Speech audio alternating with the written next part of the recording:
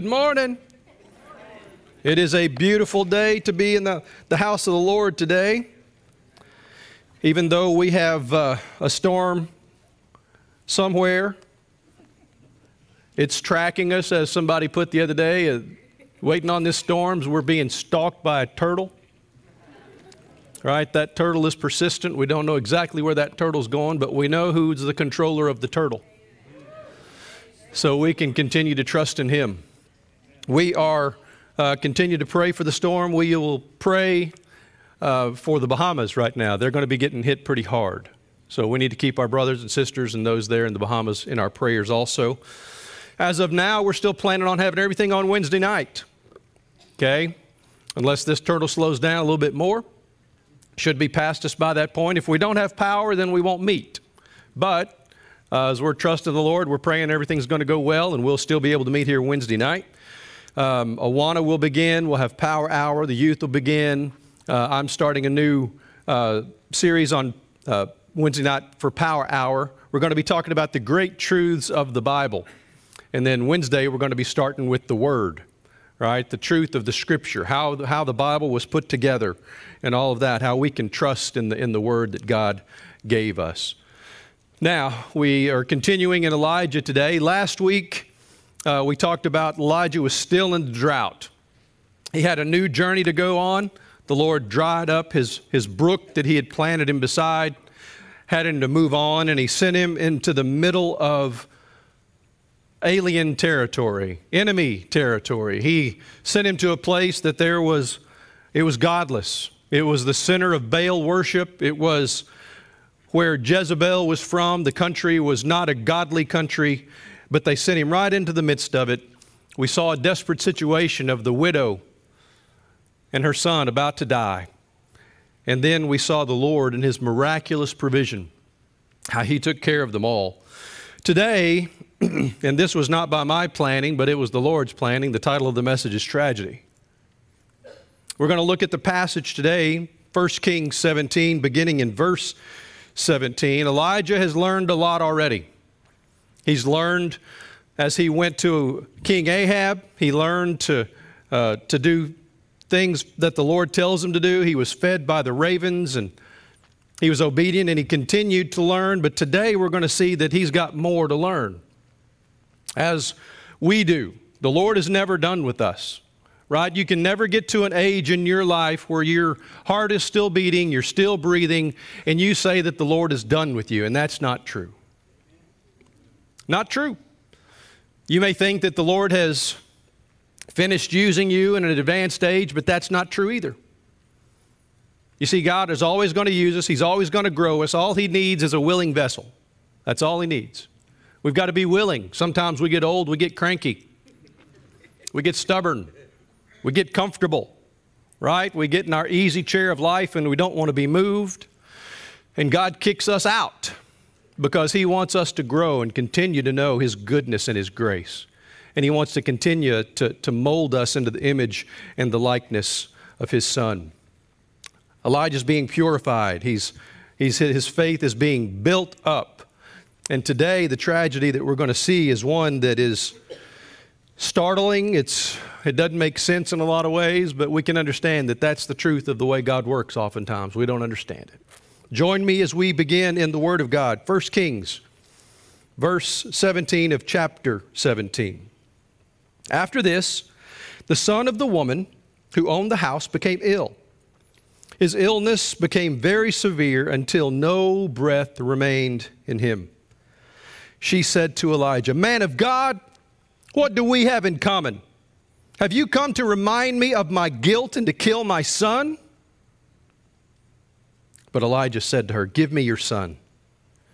So he took him from her arms, brought him up to the upper room where he was staying, and laid him on his own bed. Then he cried out to the Lord, and he said, My God, my Lord, God, have you also brought tragedy on the widow that I am staying with by killing her son? Then he stretched himself out over the body three times he cried out to the Lord and said, My, my Lord, God, please let this boy's life return to him. So the Lord listened to Elijah's voice, and the boy's life returned to him, and he lived. Then Elijah took the boy brought him down from the upper room into the house and gave him to his mother. Elijah said, Look, your son is alive. Then the woman said to Elijah, Now I know you are a man of God, and that the Lord's word from your mouth is true. Pretty amazing what's going on here. we see Elijah had been sent to Zarephath to be fed by this widow woman and her son. We know her son is young because he is not working to support his mother at this point. So he's a young boy. They had been to the point to where they were about to die. When Elijah got there, she had one handful of flour. She had just a little bit of oil. She was going to gather sticks, make the last loaf, and then the plan was she and her son were going to die. But the Lord changed things. Elijah said, Make a cake for me, and then when you do that, the Lord God has said that you will not run out of flour and you will not run out of oil until rain falls upon the land again.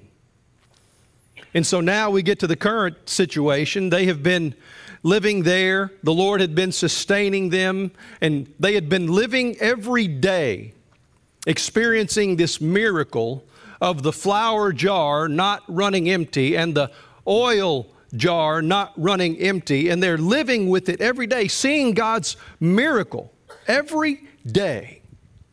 And now, tragedy strikes. Tragedy strikes. This, this young boy becomes sick. And then he gets sicker and sicker and sicker until he finally dies. Mama was devastated. Man of God, she said, do we, what do we have in common? Have you come to remind me of my guilt and to kill my son? I mean, this tragedy strikes home.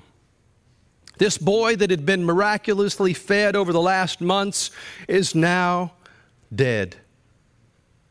Doesn't seem right, does it? I mean, this, this family that had been used of the Lord had been seeing the miraculous provision of the Lord every day, and now they experience this tragedy. It doesn't seem right, does it? We can live that, can't we? Some of you have already lived that. It doesn't seem right, it doesn't seem real. You've been in those moments in your life to where something hits and it's like you're living a dream.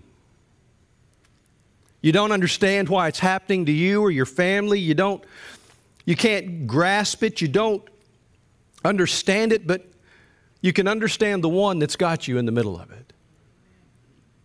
That's often how the Lord works. We don't understand His ways. He tells us that His ways are higher than our ways, His thoughts higher than our thoughts.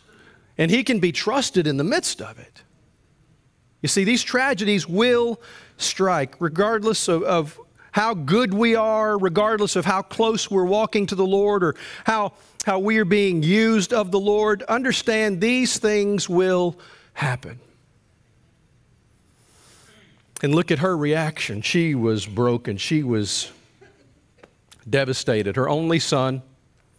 She'd probably been looking forward to the fact that this young boy was going to grow up. She was relieved now that she wasn't going to have to die with her son. The Lord had provided the flour and the oil, and this man of God was staying with them.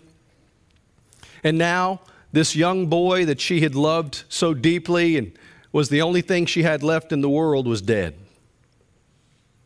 She looks at the man of God, and the first thing she says here have you come to remind me of my guilt?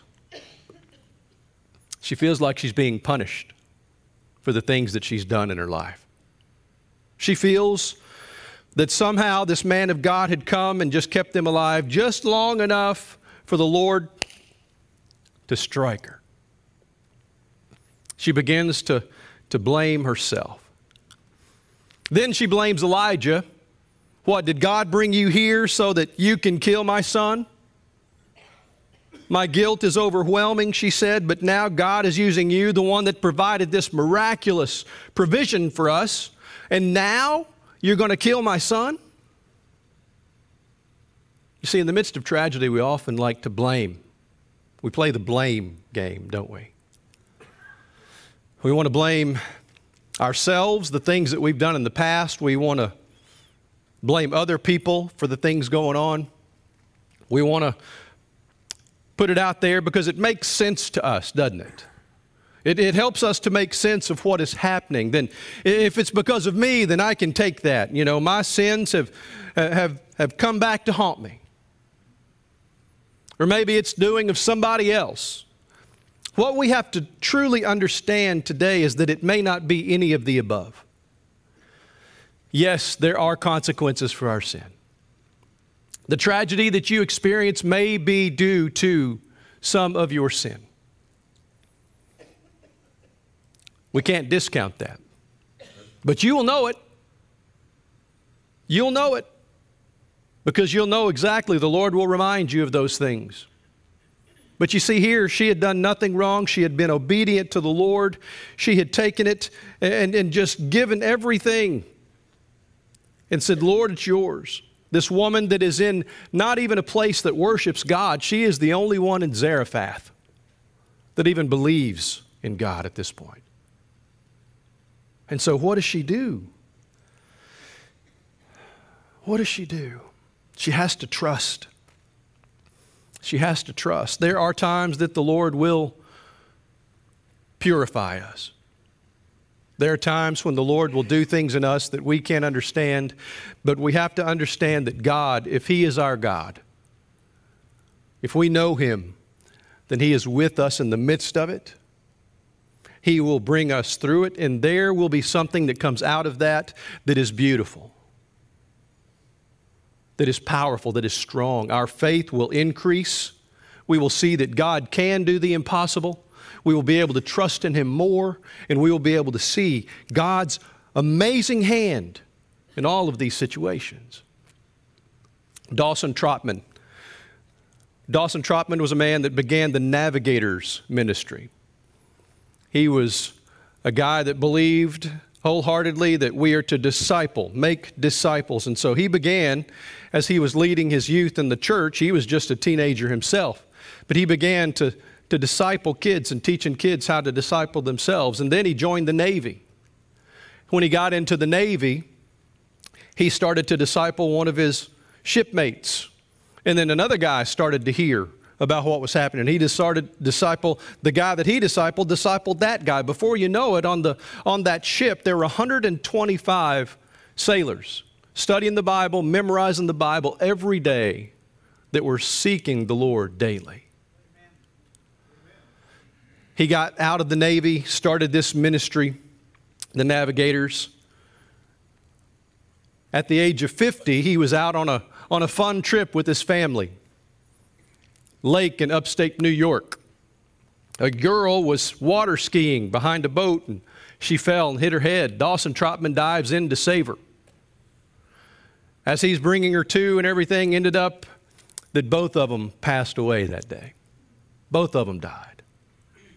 His wife, they had plans. I mean, they had all these things that the Lord they believed were going to do. And as Lila came to the shore, they kept saying, Oh, Lila, he's gone. Dawson's gone. All she could do was quote Psalms 115:3, but our God is in the heavens and he does whatever he pleases. You see, the Lord is the Lord. We can't question what he does. We can question and he will answer sometimes, but we have to trust him. It's where faith comes in. Whatever tragedy you will be dealing with, understand that the Lord is with you in the midst of it, no matter what it is. The next thing we need to understand, the second point today, is dealing with the tragedy. This is a moment where Elijah has to do something. Now, as so far as we've looked at Elijah, Elijah's had it pretty easy so far. Okay, Elijah had a message from God. He went and delivered it to Ahab. And then he went and he lived out in the wilderness being fed by ravens. All he did was hang out. And then the Lord dried up the brook and he says, Okay, you go over here and then I'm going to feed you over there too. All right. So Elijah has it pretty easy so far. but the Lord is still building it. But now we see he gets to the point to where he has to deal with the tragedy himself. He is not being fed by the Lord at this point. He is not having the Lord do this. The Lord says, Now, Elijah, it's your turn to put all this faith to work that I have been building in you through all of the things that I have been putting you through. And so, what does he do? Elijah said to her, Give me your son. So he took him from her arms, brought him up to the upper room where he was staying, and laid him on his own bed. You see here that Elijah is, is getting after it. He sees that something needs to be done. Now, I find it interesting that this boy had been sick all of this time, and she had not asked him to pray for him before he got, before he died. Now, I want you to understand something too. The life of Christ mirrors a lot of what happens in the Old Testament to show that he was the prophet and the Messiah and the king. You see, this parallels a lot of things that Jesus did. Right? You see, Jesus waited and waited until Lazarus was dead, and then he went to raise Lazarus from the dead. And he tells his disciples, It was so that you may believe the power of God. You see, he, he fed all of the thousands Jesus did miraculously, just like the widow, her flour and her oil did not run out. Now we see Elijah, this man of God, is got to deal with this tragedy. Notice what he doesn't do. She's accusing him of killing her son. He doesn't sit back and defend himself. He doesn't say, Well, you're wrong. I just came for the food. He doesn't say any of that. What does he do? He springs into action with compassion and with love, and he says, Give me your boy. Now, here's one of the greatest tests for the mom Does she give him the boy? That was her act of faith and belief that God can do the impossible, which was built on her through the miraculous providing of flour and oil. The Lord was adding to her faith, and now she had faith enough to give Elijah her young son to see what God can do. So Elijah takes the boy. He goes up and he lays him on his bed. And then Elijah does what he does best he prays. When he goes to Ahab, he said, I've prayed, God's led me to pray, and it's not going to rain until I pray about it again. Elijah is a prayer. If he, had a, if he was a superhero, his superpower would be prayer. But let me remind you, as it tells us in James chapter 5, that Elijah was a man just like us. And so, if you're a believer in Christ, you have the superpower of prayer also that you can depend on. You don't need the red phone directly to God, you've already got it. And it's by the red blood of Christ on the cross that we have access to the throne of God, where we can come boldly before the throne of God and, and seek the Lord. And so he does. He takes this boy and he puts him on his own bed. My Lord God, have you brought tragedy upon this widow I'm staying with by killing her son? He's saying, Lord, what have you done? Elijah wants the Lord to do something. And first he says, I can't believe this, God. You've been providing for us, and all of a sudden, boom, he's dead. His heart was broken too. He had grown to love this woman and her son. And then he lays himself over the boy three times and he cries out to the Lord, My Lord God, please let this boy's life return to him. See, he is the picture of calmness in the midst of this tragedy. That's something we need to learn. He doesn't freak out and run around. He doesn't start, you know, sweating and worrying about all this. Well, what am I going to do for my next meal? Well, what if this, I mean, what if she kicks me out? And he doesn't start about the thinking about all the things that our flesh would think about. Right? He doesn't. He's calm. All right. He's dead. let's do this. Let's pray. Let's seek the Lord first. I think we need to learn that. I mean, how many times are we going to experience tragedy and all of the energy and all the stuff that we waste by freaking out and being anxious and worrying and all of these things that may not even happen in the future, all of this, and we can just rest in the Lord. You know, we've got a storm coming. Did you hear about that? Let me ask you how how are you reacting?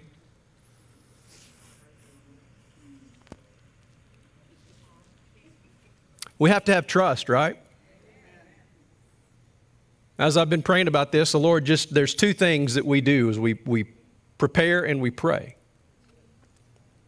We're not going to be stupid, right? And just not do anything. But we got to prepare and we've got to pray. Right? But one thing that we're not supposed to do is just freak out, run around with our chicken with his head cut off, and just having everybody have anxiety about this because we have a God that controls the winds. He knows everything. So why do we, if anybody needs to not worry, it's us. Right? We pray and we prepare and we trust the Lord. Elijah, in the midst of this tragedy, prayed. He sought the Lord. There's a, a true story, 2008, little town of Mount Vernon, Texas. East Texas. It's east of where I pastored last. Mount Vernon in 2008, it's a little bitty town, less than 3,000 people. Most people were in church on a Sunday morning. 2008, a big city slicker moves into town and buys property downtown Main Street and opens up a nightclub. It just roiled the town. Everybody was up in arms. This guy nobody's ever known. He comes and moves into our town. We've never had a, a, a, nightclub or a strip club or anything like that in this town. We can't believe it. And so, what do they do? One of the churches in town decides that they are going to pray that the Lord would burn that down. the church even had all night prayer sessions that the Lord would burn this nightclub down. Seven months later, lightning struck the nightclub and burned it down. True story. So the owner of the nightclub heard what had been going on at the church. He, he heard that they were having prayer meetings to burn down his building. And so the man sued the church because they had prayed that his building, his nightclub, would burn down. The church got a lawyer to defend themselves and said, No, it wasn't us. They actually go to the lawsuit. Look it up. Finally, the judge says this. He says, It's the opinion of this court that wherever the guilt may lie, the tavern keeper is the one who really believes in prayer, while the church members do not.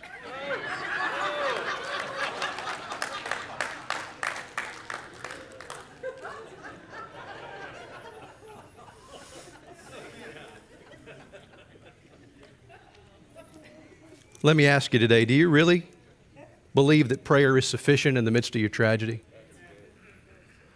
Do you really believe that when something tragic happens in your life that prayer is the first option, it's the best option, it's the most powerful option, or do you wait till later to pray? That will tell you what you believe in the power of prayer and the goodness of our God. He will take care of you. How do you deal with the tragedy? You stay calm, you pray to the Lord, and you depend on Him. He will give you the steps to take every time. The last thing that we're going to see today is what happens next. Verse 22 So the Lord listened to Elijah's voice, and the boy's life returned to him. And he lived. Then Elijah took the boy, brought him down from the upper room into the house, gave him to his mother. And Elijah said, Look, your son is alive. Then the woman said to Elijah, Now I know that you're a man of God, and the Lord's word from your mouth is true. Elijah had enough faith to pray that the drought would happen, and it happened.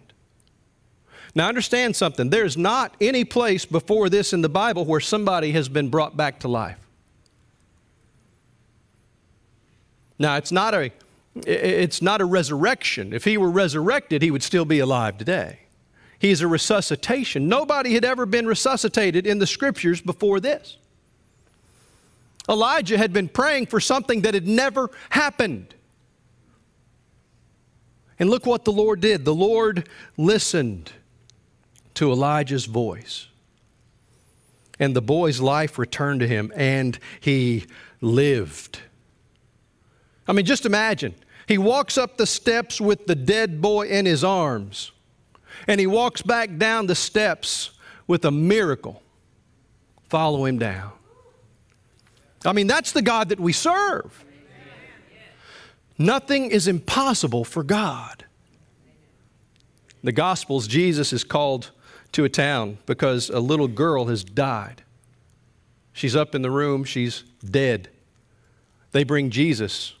The father and the parents are just, they're willing to, to discuss anything. So they bring Jesus to the house, and Jesus walks in, and, and all the people laugh at Jesus. What are you here for? She's already dead. Jesus looks at him and says, No, she's just sleeping. He goes upstairs and he tells her young girl, Get up. And she gets up and he brings her down the stairs, walking with him. And he tells the parents, Get her something to eat.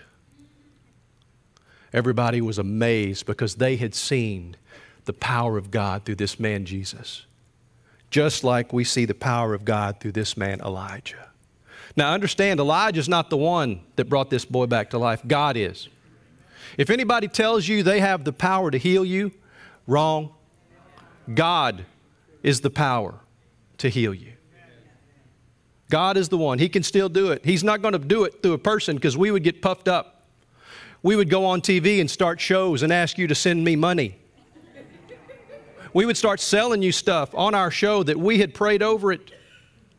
We would be doing all this stuff to make our pockets full and not enhancing the kingdom of God.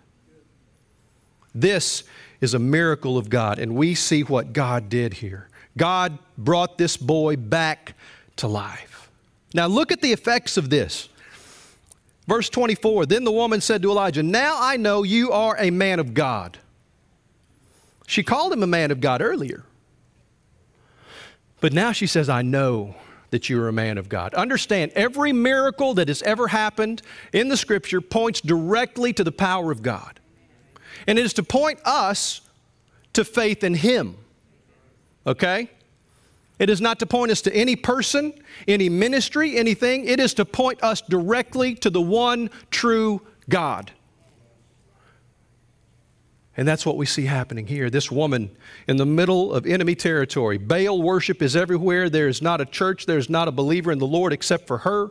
And now we see through this miracle, her faith has even grown more than it was before. Understand when you go through a tragedy, when you deal with the tragedy the way the Lord wants you to deal with the tragedy, it is not going to affect just you, it will affect people around you. They will look and see how you're dealing with this. They will wonder how you can be standing up under the pressure or under the grief. They will wonder how you can still have an outlook of, of, that the Lord is good.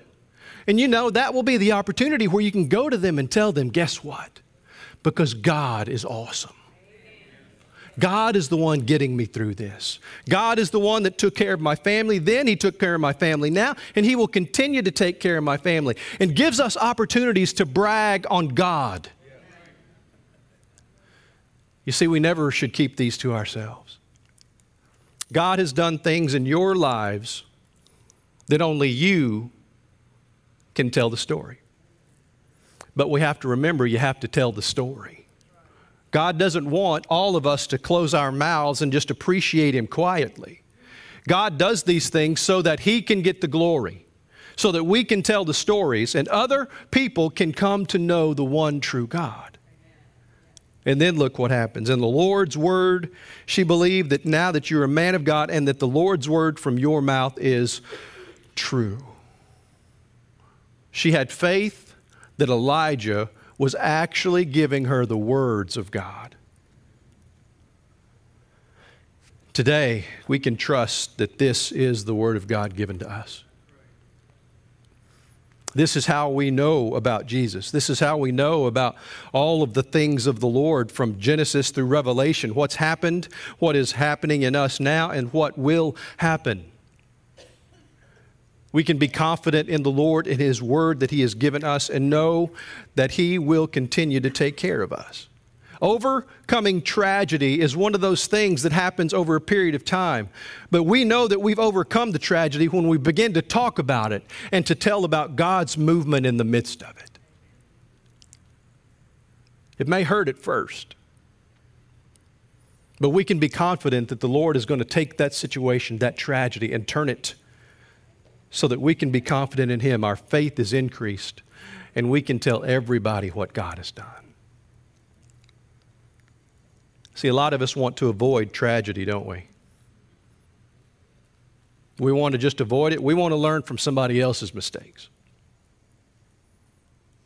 We just want to read the Bible and learn from them. But you know, the problem is we can read this and we can try to learn from other people's mistakes, but a lot of times we don't.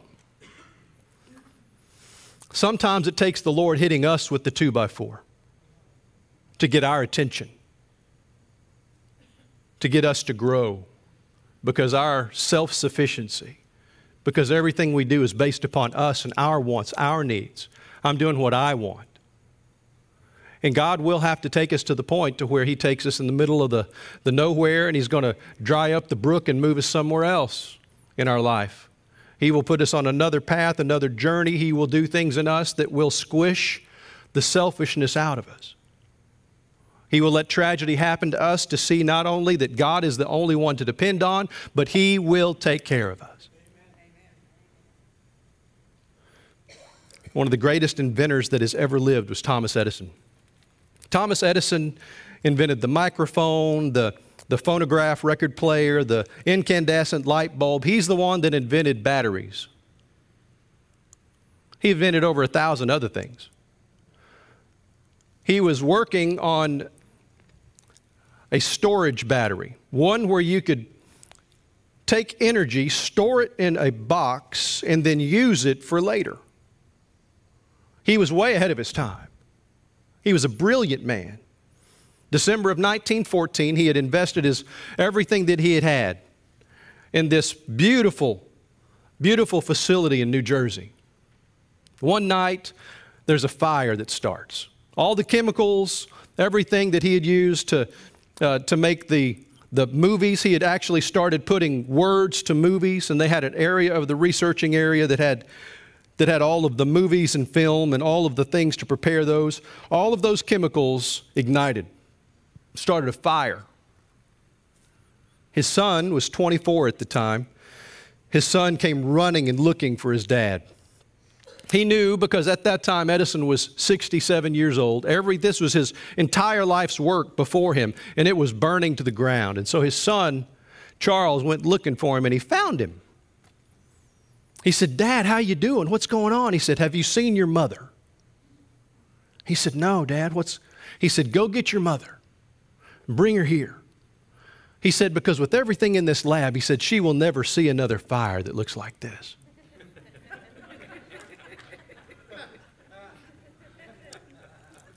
They sit there and talk for a while.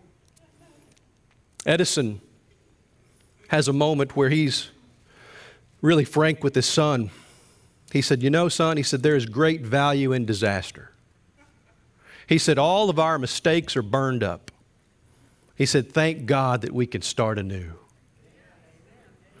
Within three weeks, Edison had produced the first fully functional phonograph. Three weeks after that. Understand today that some tragedies that you experience today may just be burning away some of the mistakes that you've made in your life. Some of the problems you go through may be because God is growing you and He wants you to look more like His Son Jesus. Some of the problems and tragedies you go through may be your own fault. We are humans. We do not, as Christians, escape the effects of our sin. But we can understand in all of it that our God loves us and He cares for us. He will provide for us, He will get us through it, whatever it may be. And we can be confident in Him. Today we know the truth that Christ, the very Son of God, Jesus, came to this world and took on flesh. He lived a life of a human, fully God, fully man. He began a ministry. He began to teach and to preach, and they crucified him because he told the truth. They put him on a cross, and as he was on the cross, the Father put the sins of man, all of them, past, present, and future, upon the Son of God, and he paid the price for all of our sins today. All of them. Everything we've ever done, he has paid for. They put him in a borrowed tomb, and on the third day, he was resurrected back to life to prove that it wasn't just a good man that hung on the cross, it was the very Son of God. He was among the people for 40 days, and then he ascended to the right hand of the Father, and he is interceding for us even this very moment. And he tells us, he said, If you will believe in me, if you will repent from your sin and put your faith in Jesus, the very Son of God, then you will be saved. You see, we have to be saved. If we choose to live without God, we will go to the place that we choose, which is hell. It is true, it is a real place. As much as I would love for that not to be true, but it is true. People always ask the question how can God send anyone to hell? He doesn't. He gives us the choice to know the one true God. He knocks upon our heart, He draws us to Him. It is us who choose and refuse God. Today, I implore you that if you don't know the Lord, if you've not been saved and your sins washed away, that today you can depend upon the one true God. The one true God that loves you, He gave everything for you.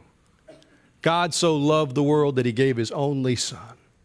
Whoever believes in Him will not perish, but have everlasting, eternal, unending life in Christ. Today, if you're not a believer, if you're not a Christian yet, come and we will introduce you to Him. Maybe you're a believer today and you're going through a tragedy. Well, I can offer you prayer. As we enter into the invitation, we'll have men here that we can pray with you. You're not supposed to go through a tragedy alone. That's why God made the church, so that we can be together. If you're outside of the church, if you're not involved in a church, if you don't have the brother and sisterhood of a church, you're an orphan. And God doesn't want orphans. He wants us to be family, and that's what He called us together to be.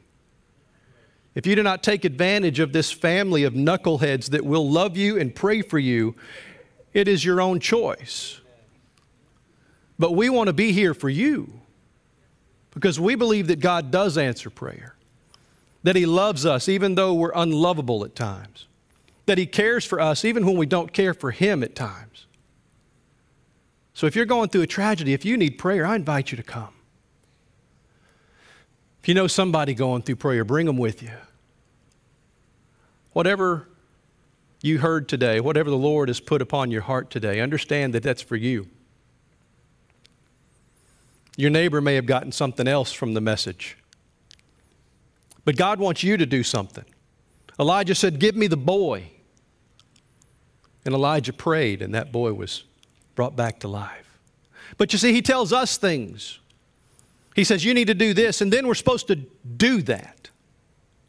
Even during the invitation, while we're here together, God calls you to do something. I encourage you to do it. Delayed obedience is disobedience during this invitation as the, the praise team comes. Do what the Lord would have you to do because He's doing this for you. Let's pray together. Father, we trust ourselves to you. We give you us, Lord. I, I know that there's probably some here that don't know you yet, Father, and I ask that you draw them to you even right now. Father, that they know that they are without you, that their sin would condemn them. Lord, that they have not been forgiven for their sin and they would, they would be responsible to account for it before you. Father, I pray that you draw their heart and that they will be saved today. Lord, I ask today that you will comfort those that are mourning. In the midst of the tragedy, Father, I pray that you make yourself known to them, that, Father, they can depend on you, that we ourselves are not dependable, but you are, Father. Lord, we put ourselves in your hands for this storm. We ask, Lord, that you move it to the east. We ask for protection for our brothers and sisters in the Bahamas. Lord, watch over them and protect them, Father. Lord, help us in whatever tragedy we will experience to remember to seek you. To seek you. We thank you, Father. We give you this time of invitation for your glory. And we do this in the name of Jesus. Amen.